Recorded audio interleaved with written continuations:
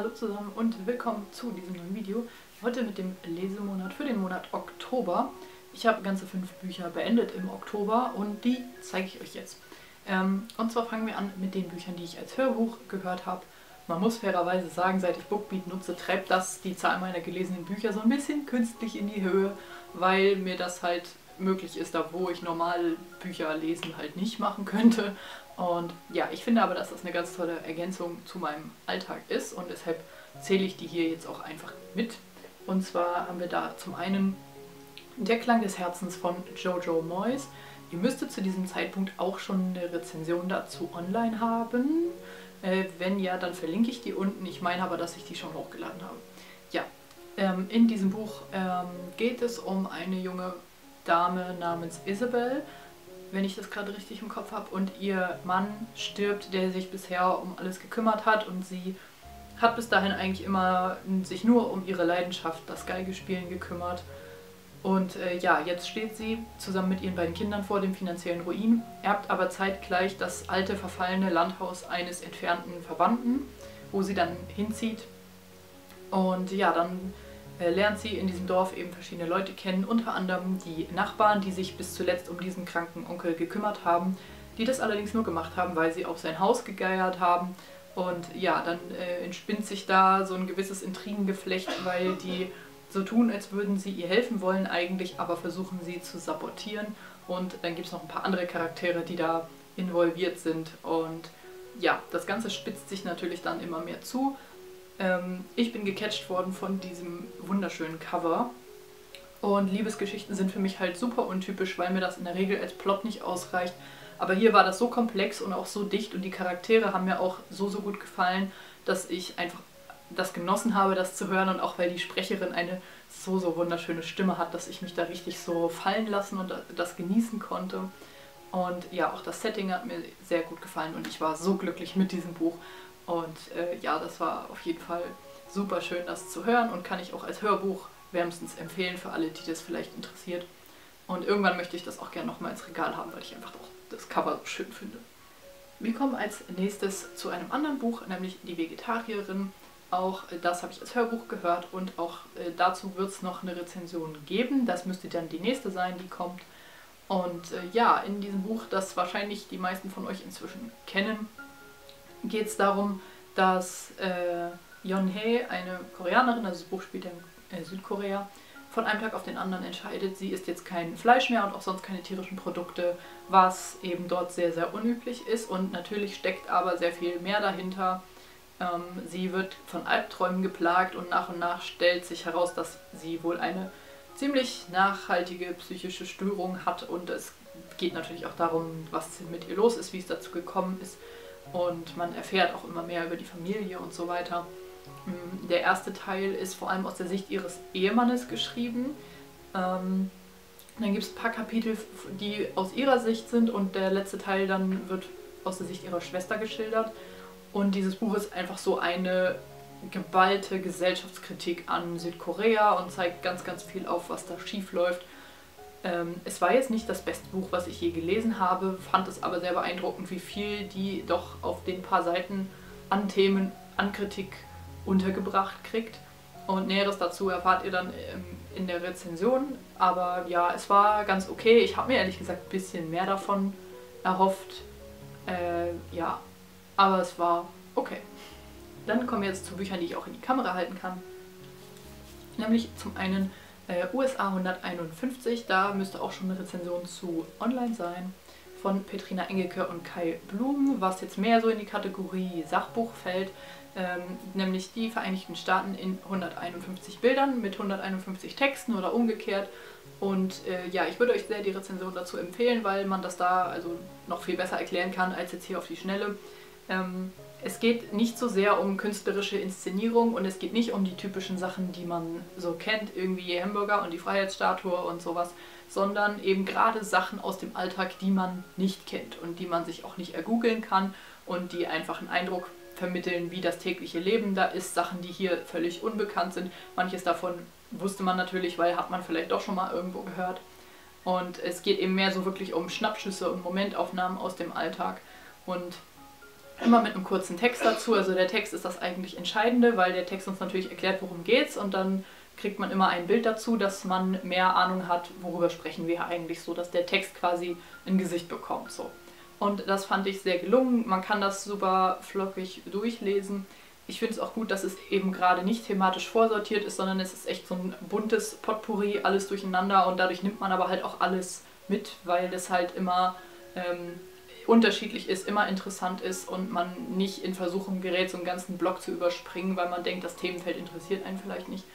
Ähm, so ist halt jede Seite, die man aufschlägt, ist wieder eine Überraschung und das hat mir sehr, sehr gut gefallen. Das war quasi ein Rezensionsexemplar über eine Leserunde auf Lovely Books, wo auch die beiden Autoren dabei waren. Das hat super viel Spaß gemacht und äh, die sind auch beide super sympathisch und mir hat das Buch sehr, sehr gefallen und ich kann das wärmstens empfehlen. So, dann kommen wir zu diesem Buch hier, nämlich Der Garten der schwarzen Lilien von Katharina V. Haderer ja, auch mal wieder was Fantasy-mäßiges in einem Lesemonat. Ich glaube, das war in letzter Zeit nicht so häufig. Ja, jedenfalls der zweite Teil zur Black Alchemy-Reihe. Teil 1 ist das Schwert der Totengöttin. Rezension wird irgendwo hier verlinkt. Ja, ähm, mir hat Teil 2, auch dazu wird es im Übrigen noch eine Rezension geben, nicht ganz so gut gefallen wie der erste, was einfach schon an dem Setting liegt, weil ich in Teil 1 diesen düsteren Wald so, so toll fand. Und ich habe das so geliebt, in diesem Wald zu lesen. Und hier sind wir halt eher in einer ja, Hafenstadt, also es ist eher so ist Mittelalter-Fantasy. Und die Stadt an sich, ich kann da nichts dran kritisieren, weil es ist gut geschrieben und alles, aber es war halt nicht der Wald. Und das war schon so ein bisschen mein Ausgangsproblem mit diesem Buch. Es war unterm Strich trotzdem ein tolles Buch. Ich mochte die Charaktere. Ich bin, wenn ich weitergelesen habe, auch direkt wieder abgetaucht in die Handlung. Aber trotzdem haben mir einfach ein paar Elemente gefehlt, an die ich im ersten Teil in mein Herz gehängt habe. Und ähm, ja, mehr dazu gibt es dann in der Rezension. Äh, grundsätzlich, ich sage jetzt nur noch mal, worum es im ersten Teil geht, weil sonst müsste ich den zweiten spoilern. Und zwar geht es im Schwert der Totengöttin eben darum, dass ein Dorf, was in diesem Wald liegt, von einer Untotenplage befallen wird und ähm, ja, das Ganze hat mit einem Artefakt zu tun, nämlich diesem Schwert der Totengöttin, das aus seiner Ruhestätte entfernt wurde und dadurch sind die Toten nicht mehr unter Kontrolle, beziehungsweise vielleicht gerade doch unter Kontrolle, aber man weiß nicht von wem.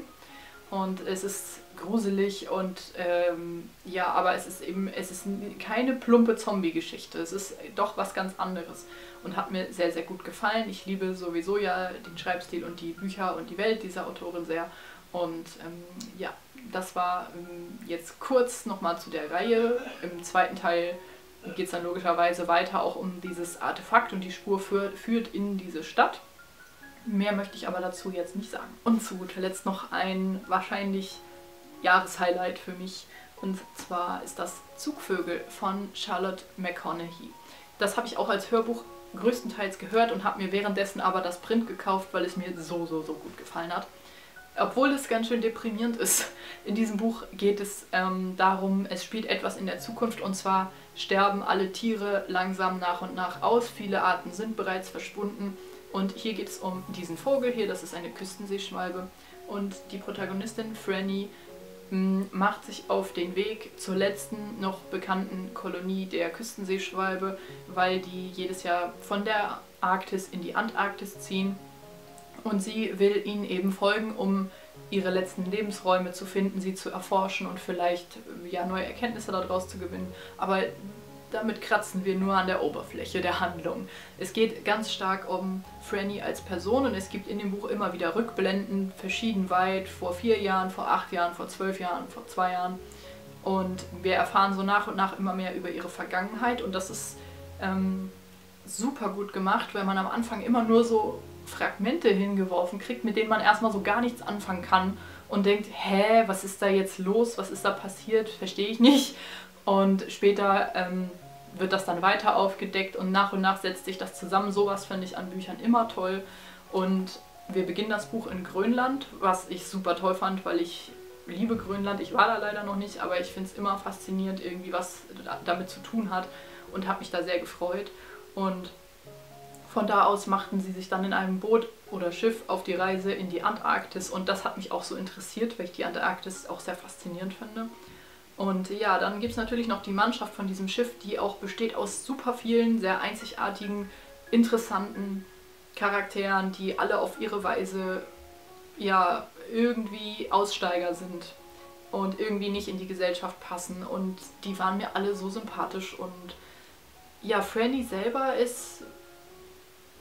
Also die hat auf jeden Fall einen Berg psychischer Probleme, das merkt man gleich am Anfang.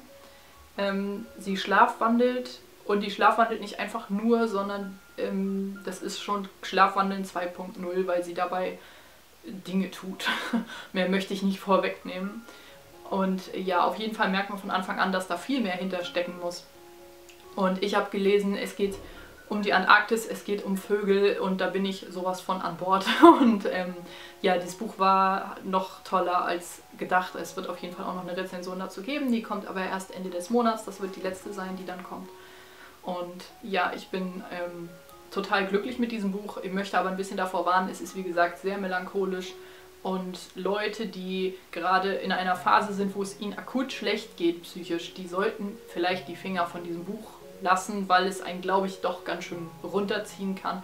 Und auch überhaupt dieses Ausgangsszenario, dass die Tiere alle aussterben, das kann den Einzelnen sicher auch schon treffen. Und deshalb wäre ich da vielleicht ein bisschen vorsichtig, wenn es einem gerade nicht so gut geht. Aber ansonsten eine unglaubliche Empfehlung für dieses Buch. Ich freue mich schon sehr auf die Rezension, dass ich da ein bisschen mehr erzählen kann. Und das war auf jeden Fall eins meiner Jahreshighlights und ich finde das richtig, richtig toll das war es dann auch schon wieder von mir und von diesem Lesemonat. Und ich hoffe, euch hat es gefallen und ich hoffe, wir sehen uns natürlich auch bald wieder mit einem anderen Video hier auf diesem Kanal. Der November wird entsprechend rezensionslastig, ähm, weil ich halt diesen Monat jetzt mehr gelesen habe und auch zu diesen Büchern immer noch mal eine Rezension machen will. Das heißt, wahrscheinlich werden die nächsten drei Videos in Folge Rezensionen sein. Normal versuche ich ja immer so ein bisschen das zu mischen. Die Alternative wäre gewesen, den Vlog von letzter Woche irgendwo weiter hinten durchzuschieben. Ich hätte das dann aber blöd gefunden, erst irgendwie so Mitte, Ende November dann noch einen Vlog für den Oktober hochzuladen. Und deswegen, ja, ist das jetzt halt einfach mal so. So, das war's soweit von mir und ich wünsche euch viel Spaß bei was auch immer ihr jetzt vorhabt und hoffe, wir sehen uns bald wieder auf diesem Kanal. Bis dahin, macht's gut. Tschüss.